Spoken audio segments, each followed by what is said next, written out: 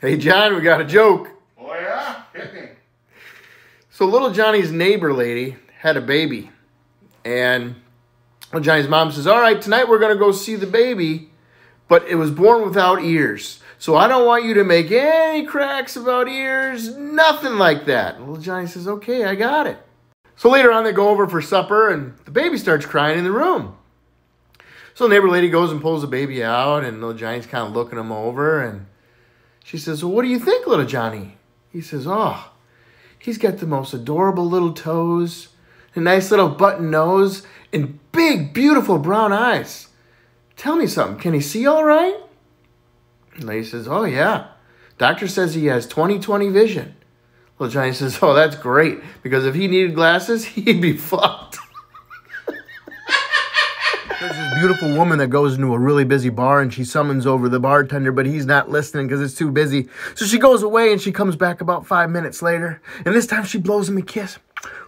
Little Johnny's bartender, he goes running over there. He says, Hey, can I help you? And she puts her fingers on his face. She says, Hey, you're kind of cute. What's your name? He said, My name's Little Johnny. And she starts rubbing her fingers through his hair. She says, Oh, Little Johnny, are you the manager? He said, No, I'm not.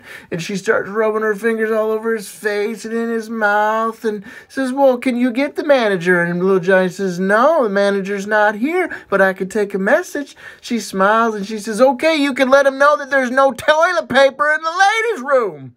Little Johnny goes to this bar one night and meets this beautiful woman. After talking for a little while, she says, Hey, how about we go back to my place? Little Johnny says, Hey, sounds good. So they go back to her place and she says, Go on into my bedroom because I'm going to change into something more comfortable. So little Johnny goes into her bedroom and she's got stuffed animals everywhere. She's got three shelves. On the bottom shelf, she's got small little ones. On the middle shelf, she's got ones that are a little bit bigger. And then on the top shelf, she's got these huge teddy bears. Little Johnny's thinking, this is kind of weird, but then she comes in and just ravages him. He has the best time he's ever had in his entire life. He's laying there out of breath after they're done. He says, Oh my gosh, that was amazing. How was it for you? She said, uh, Little Jimmy, Little Johnny, whatever your name is, you can pick a prize from the bottom shelf, and I have your cab waiting outside. One day, little Johnny and little Susie were working in the garden. Little Susie was bending over picking weeds, and little Johnny says, Wow, your butt sure is getting big. She just keeps on picking weeds. He says, I bet your butt is as big as the grill. She just keeps on picking weeds. He says, You know what? I'm going to go measure the grill and measure your butt and see which is bigger. So he takes out the tape measure. He goes and measures the grill. And then he goes over and measures her butt. He says, Little Susie, yep, your butt is two inches wider than the grill. She just kept on picking weeds. Well, that night, little Johnny was trying to get a little frisky with little Susie. And she says, uh uh uh, you think I want to fire up this big ass grill for one tiny little weenie? Ain't happening. Little Johnny goes to the doctor and says, Doc, you got to help me out. Doctor says, Well, what's wrong? Little Johnny says, I, I don't know, but I've got five penises. Doctor says, Five penises? How do, how do your pants fit? Little Johnny smiles and says, He like says, okay, glove." class, tonight I want you to go home and write a poem and come back and recite it for me. The next day, little Susie comes back and she says, Roses are red, violets are blue, sugar is sweet, and so are you. The teacher says, Oh, that's nice, little Susie. Little Billy says, Roses are red, violets are blue, a face like yours belongs in a zoo. She says, Little Billy, that's funny.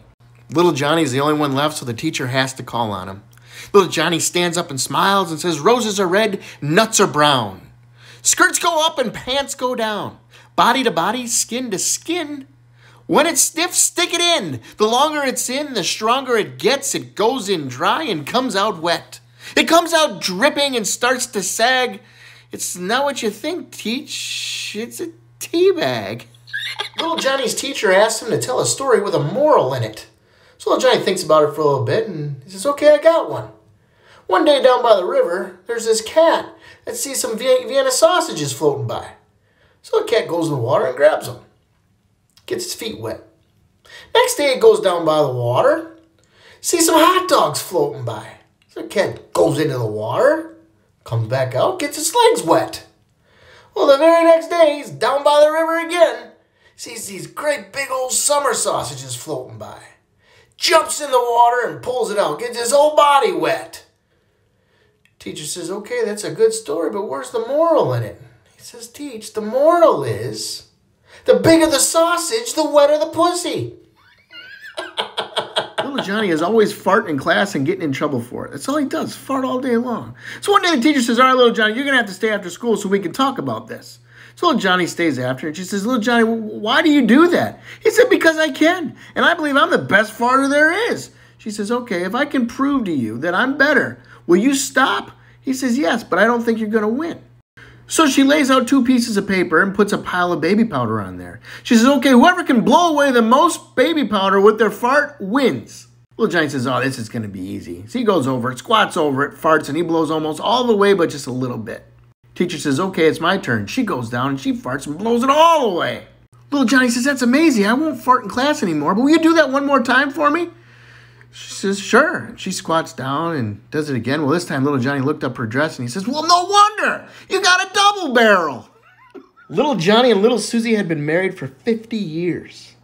One morning down at the breakfast table, little Susie says, You know, if this were 50 years ago, little Johnny, we would be sitting here stark naked. Johnny says, You're right, let's try it. So they took their clothes off and they sat back down, and little Susie gazes across the table and grabs little Johnny's hand. She says, You know, my nipples are just as hot for you as they were 50 years ago.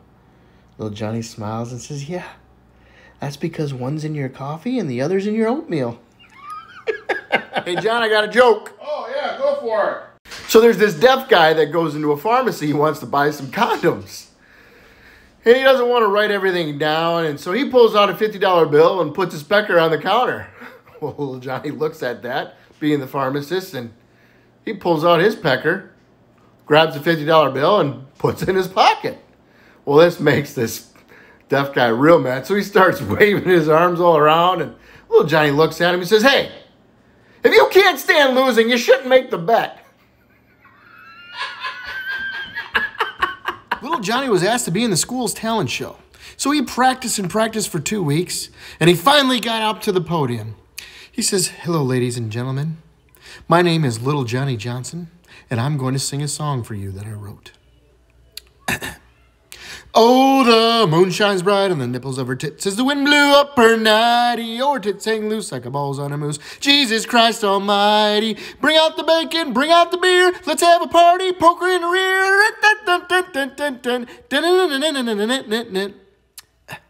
Thank you. Little Johnny was late for school one day, and the teacher asked him why. He said, Well, there was this man who lost his wallet on the street. She says, Oh, so you were helping him find it? He says, No, not really. He says, But I had to keep on standing on it until he gave up and walked away. Little Johnny calls up his dad on the phone and says, Dad, I'm a genius. He goes, well, What do you mean you're a genius? He said, Well, I finished a puzzle and it only took me one year. He says, Okay. He says, Yeah, but on the box it said three to five years. so little Johnny and little Susie were laying in bed, and little Johnny farts and says, Seven points. Susie looks over and says, What's that? He says, Fart football, and I'm up seven to zero. Little Susie doesn't want to be outdone, so she lets out a fart and she says, Touchdown, tie score. After about five minutes, little Johnny farts again and he says, All right, I'm up 14 7. A couple minutes later goes by and she farts again, a real big one. She says, All right, 14 14, tie score. A minute later, she lets out a little squeaker and she says, Field goal, I'm up 17 14. Now the pressure's on and little Johnny doesn't want to lose, so he's pushing as hard as he can, but instead of farting, he craps the bed. Little Susie says, What was that? He says, Up, oh, halftime, switch sides. he says, Okay, class, today I would like you to spell out what your father does for a living and tell us what he would do for us if he were here. Little Susie says, My daddy is a baker, B A K E R, and if he were here, he would bake us a cake. She says, That's nice, little Susie. Little Timmy says, My daddy is a salesman, S A L E S M A N, and he sells beef jerky, and if he was here, he would give us all a sample. Teacher says, That's nice, little Timmy. Little Billy says, My daddy is an electrician, E L E E L E E L. Teacher says, Okay, little Billy, we'll come back to you. Little Johnny, what does your daddy do for a living? Little Johnny says, My daddy is a bookie. B O O K I E. And if he were here, he'd give us 10 to 1 odds that little Billy couldn't spell electrician. do you do you shower after sex? Me? Yeah. Yeah. Maybe it's time you have some sex. Fuck off.